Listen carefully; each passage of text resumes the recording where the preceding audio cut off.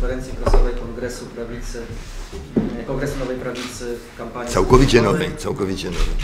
E, Ja się nazywam Tomasz Somar, jestem rzecznikiem prasowym, a mamy ze sobą e, prezesa partii europosła Janusza Korwin-Mikkego, szefa sztabu Arkadiusza Oziębłę oraz Konrada Berkowicza, kandydata na prezydenta z Krakowa. E, Także zapraszam pana prezesa o zabranie głosu. Ja rozumiem, że jak to jest szef sztabu, to w tej chwili władzę, władzę w partii na okres, na okres y, wyborów przyjmuje szef sztabu, więc bardzo proszę panie Jarku. Dziękuję Panie Prezesie, bez przesady. Władca w Nowej Prawicy jest tylko jeden.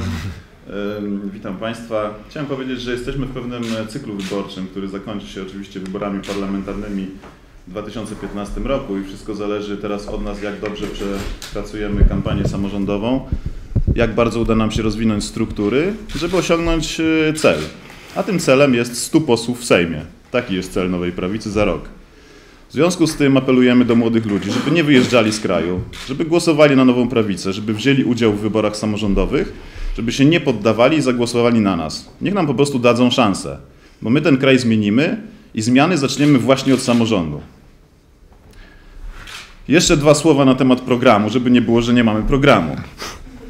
Bo takie y, plotki też czasami chodzą. Na programie, żeby zlikwidować to wszystko. Oczywiście, że tak. Musimy zmienić kraj. Nie jest łatwo zmienić kraj, mając przed sobą tak dzielnych i zacnych przeciwników jak partie sejmowe, które nas mogą pokonać chociażby budżetowo w każdym zakresie. Ale mamy bardzo silną ideę i chcemy ją zacząć realizować w samorządzie. Przede wszystkim brak, brak deficytu budżetowego chcemy przenieść na poziom samorządowy. Nie chcemy, nie chcemy, żeby samorządy wydawały więcej pieniędzy, niż są w stanie ściągnąć z obywateli bez nadmiernego ich obciążania. Niektóre zadania zlecone, takie jak na przykład oświata i szkoły podstawowe, można przekazać samorządom rodziców, stowarzyszeniom rodziców lub też fundacjom. Nie ma obowiązku obecnie i na, na, na podstawie już obecnie obowiązując- obowiązującego prawa można takie zadanie przekazać, można przekazać je e, rodzicom, a jak wiadomo, oni mają największą motywację do tego, żeby ich dzieci miały wysoki poziom e, nauczania w szkołach. Należy sprywatyzować mienie komunalne, tym samym ograniczymy korupcję oraz spowodujemy wzrost konkurencji na rynku usług, usług komunalnych. Również jeżeli chodzi o mieszkania komunalne, należy je po prostu sprzedać lokatorom. Lokatorzy o nie o wiele lepiej, o wiele lepiej zadbają niż y, zarządy y, samorządowe. Poza tym z samorządów zejdą wtedy wszystkie y, sprawy związane z remontami, odnową, a najważniejsze w tych programach samorządowych to jest to, co nasi kandydaci do nich wniosą. Bo wszystkie sprawy lokalne są podobne. Niemniej jednak w każdej gminie występują różne zjawiska, to korupcyjne, to różnych klik, to różnych układów, które należy zmienić od środka. Dajemy tutaj kandydatom ogromne pole do popisu i mogą do, do naszego programu ogólnego dodać swoje punkty, które dla nich, dla nich są istotne. Na tym polega właśnie idea wolnościowa, którą w samorządzie zrealizujemy w naszej partii, w Nowej Prawicy. Apelujemy do głosowania 16, do głosowania 16 listopada na naszych kandydatów i na nasze listy wojewódzkie, na naszych kandydatów na prezydentów, których będziemy mieli około 50, a w Polsce wys- wystartuje z naszych list około 4000 osób. To może w takim razie, jak mamy mówić o lokalnych, to mamy tutaj kandydata na prezydenta e, Krakowa, e, pana Konrada e, Berkowicza. On powie, jak zwalczać smoka, smoka biurokracji, bo to w Krakowie taka specjalność, że walczy ze, ze, smokami. smokami. Co prawda nie, nie, nie wiem, czy pan wie, panie Konradzie, że, e, że widziałem taki dowcip, jak szef DTFK sobie poradził ze smokiem. Założył mu na szyję szali Krakowi i puścił kibiców Wisły. To rzeczywiście znając realia krakowskie by zadziałało. Ja natomiast chciałbym przede wszystkim e, zwrócić uwagę na to, że już nasi przeciwnicy próbują zarzucać nam, że nasi kandydaci nie mają e, doświadczenia samorządowego. Ja potwierdzam, że wielu z naszych kandydatów takiego rodzaju doświadczenia nie ma, ale to nie jest ich wada, ale zaleta, bo czymże jest doświadczenie samorządowe e, obecnych samorządowców w sytuacji, kiedy intencje nie są dobre. Obecnie doświadczenie obecnych radnych, doświadczenie obecnych prezydentów to jest tak, napra- tak naprawdę uwikłanie w różne kliki, e, to są zobowiązania wobec swoich kolesi, e, to, są, to jest pewna sprawność, ale sprawność, która jest wykorzystywana do układania się i do załatwiania e, swoich spraw. I ja mam, mam nadzieję, że e, krakowianie, którzy mają dość prezydenta Majchrowskiego, mają dość jego e, sitwy, a takich jest bardzo dużo, zagłosują e, właśnie na mnie, żeby dać nowej prawicy szansę na oczyszczenie tej stajni Augiasza i zbudowanie nowego samorządu, samorządu świeżego, samorządu nowoczesnego i samorządu wolnego od tych wszystkich, wszystkich pasi brzuchów, którzy, którzy są przyspawani do stołków. I ja wierzę, że krakowianie zagłosują e, na mnie nie mimo, ale właśnie dlatego, że mają kandydata e, młodego, e, kandydata młodego, bo ja, jak sobie przypomnę, jak miałem 15 lat, e, jeszcze jako taki programista, samouk, e, założyłem w internecie Stowarzyszenie Polskich Webmasterów i wtedy ze względu na specyfikę komunikacji nikt nie wiedział, że jestem pię- 15-letnim chłopcem y, i dzięki temu to wyszło. To znaczy w krótkim czasie ponad 1300 webmasterów zapisało się do tego stowarzyszenia. E, Rozwijaliśmy wtedy raczkujący rynek tworzenia stron internetowych.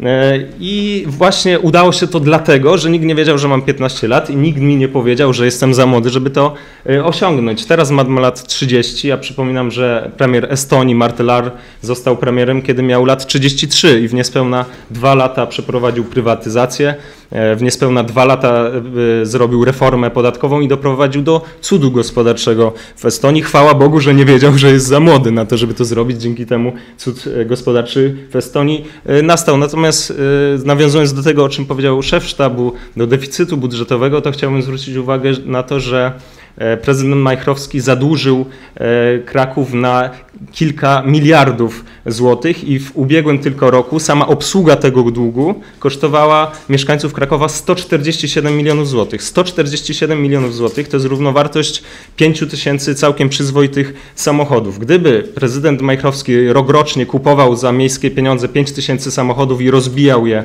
o mur, no to pewnie mieszkańcy Krakowa natychmiast by go wy- wywieźli z magistratu na taczkach. Tymczasem właśnie takim marnotrawstwem i właśnie takim kosztem e, dla mieszkańców Krakowa jest ten dług. Dług, który prezydent Majchrowski e, zaciągnął po to, żeby wybudować e, takie rodem z filmu Barei misie, misie na miarę naszych czasów i teraz wymachuje tymi misiami w czasie kampanii wyborczej, że Kraków się rozwija, bo wybudował to, wybudował tamto. Zresztą zwracam uwagę na to, że jakoś dziwnym trafem wszystkie kluczowe inwestycje zakończą się akurat w kampanii wyborczej, co, co jest najlepszym dowodem na to, że kosztem komfortu życia mieszkańców rozkopano Kraków, przedłużano inwestycje po to, żeby prezydent Majchrowski w czasie kampanii mógł przeciąć kilka wstąg i, i wstęg i się sfotografować w czasie kampanii. To jest skandal. Ja będę głośno o tym mówił, o tym, czego nie widać, to znaczy o tych kosztach tego długu. E, Będę głośno mówił, że król jest nagi. Jeżeli Państwo będą chcieli dopytać o jakieś szczegóły programowe, to oczywiście e, jestem do dyspozycji. Szanowni Państwo, i zanim e, zaproszę do zadawania pytań, to proszę szefa sztabu i naszego kandydata, żeby odsłonili nasze hasło wyborcze, które będzie motywem kampanii. Zapraszam.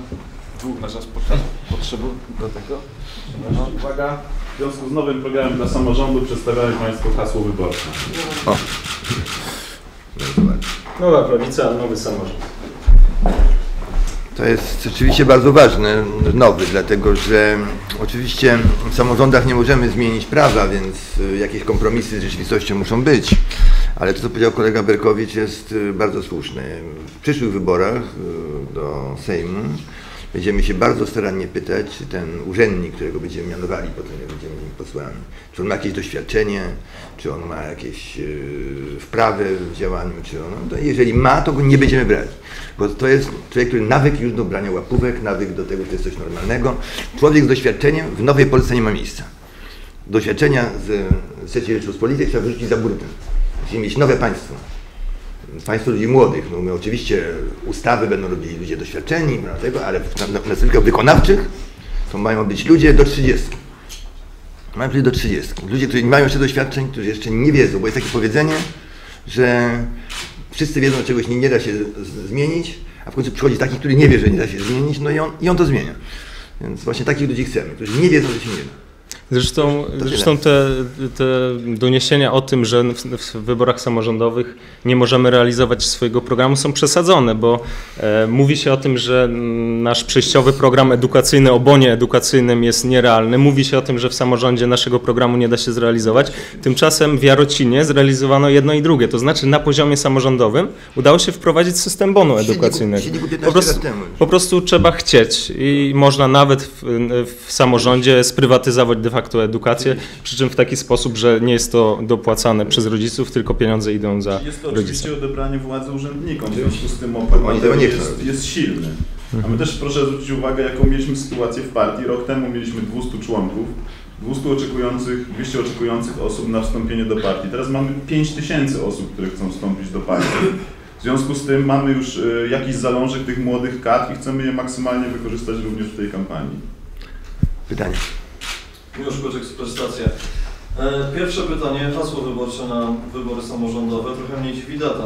Dzisiaj się Państwo zdecydowaliście, aby to hasło odsłonić, kiedy Ewa Kopacz prezentuje start nowego rządu. Trochę niefortunna data. Czy może to jest jakiś celowy zabieg? Nie, A Znaczy- drugie pytanie jeszcze do Pana Przewodniczącego odnośnie e, wypowiedzi, komentarza do decyzji Martina Szulca, który odebrał Panu 10 e, diet za 10 dni, diety za 10 dni. Mówił Pan o tym, że to jest zemsta socjalisty na antysocjaliście i o tym, że przodkowie Pana Szulca obrabowali Pana ojca na o wiele na- większe kwoty niż on Pana. Gdyby Pan mógł właśnie tę myśl rozwinąć, Znaczy- ewentualnie jacy to byli przodkowie, to znaczy, to znaczy, no wiadomo, jacy, jacy przodkowie pana Szulca rządzili, rządzili w Polsce, konkretnie w Generalnej Guberni, prawda, więc nie będę się, się tutaj roz, rozwodził. Natomiast jest to jawny nonsens. Yy, Zostałem, zostałem oburzony grzywną, grzywną y, za to, że powiedziałem, że Murzyn to jest Murzyn, prawda? Y, I, i, to, jest, y, i, i, I to jest jakiś kompletny nonsens. To jest to tłumienie oczywiście wolności wypowiedzi, absolutny brak tolerancji, kompletny brak tolerancji, co by nie powiedzieć.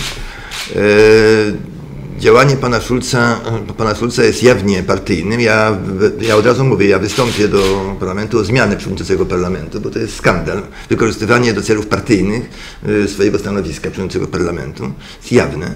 Przecież y, przypominam, że przynajmniej nie, nie tylko Nigro, ale przecież Lennon i pani Yoko Ono śpiewali, śpiewali nawet przecież Woman is a nigger of the world, a kobieta jest murzynem świata, czarnuchem świata dokładnie rzecz biorąc. Paul Robson, którego w, dzieciństwie śpiewałem piosenki, to były takie postępowe piosenki, prawda? The Niggers Work, White Folks is, y, is Playing, prawda? To, to, to jest wszystko jest normalny, normalny ten. To jest w ogóle taka poprawność, nie wiem, Państwo wiecie, że że książki są teraz, jak jest taka książka 1984, którą każdy polityk powinien znać, prawda, y, Orwella i proszę Państwa, tam jest takie Ministerstwo Prawdy, które przerabia historię, wycofuje stare ten i zmienia, zmienia co chwila historię według potrzebnych tych. Mamy to, mamy to samo, w tej chwili się wydaje, na przykład dzieła Marka Twena poprawione usuwać właśnie słowa niger, nigro, e, usunięta jest scena, w którym mieszkańcy, mieszkańcy miasteczka cieszą się, cieszą się że powieszono, powieszono takiego bandytę. Jest niemożliwe, bo kara śmierci jest zła, więc to się usuwa z, z, książki. Cenzuruje się książki. W Polsce, proszę Państwa, takie szuje, które, które założyły fundację imienia Jacka Kuronia, człowieka, który walczył z cenzurą, cenzurują nawet Murzynka Bambo. Usunęli z wierszyka o Murzynku Bambo y, wers, który brzmi, który brzmi y, mama powiada napij się mleka, a on na drzewo mamie ucieka. To zostało usunięte, że to jest rasistowskie. Cenzur... I, I to fundacja Jacka Kuronia, to jest coś... Przewodniczący, o jakich przodków Panu chodziło Martina Szulca? No Niemców oczywiście. Znaczy, co do pierwszego pytania, to... Jeszcze właśnie o, o, hasło. No nie rozumiem. Hasło, hasło wyborcze, Znaczy, nie, nie rozumiem. Nie, nie ma na nim żadnej Znaczy, daty. pan nie uważa, że rząd, który został dzisiaj Chodzi powołany, jest jakimś specjalnie nowym rządem? Ale, ale, Wymieniono medialnie kilku, kilku ministrów, nic się nie zmieni. ale, ale, No, Ale różnica- jest- ale co za różnica, czy nami rządzi PO, czy PiS, czy, czy, czy SLD, czy PSL? To będzie dokładnie to samo. Ale to jest, to jest To da, znaczy- data dzisiejszej konferencji jest świetnym dowodem na to, o co nam chodzi. Nam chodzi o zmianę systemu, a jeżeli jest ważna dla, dla nas zmiana ludzi, to na nowych, którzy chcą zmienić ten system.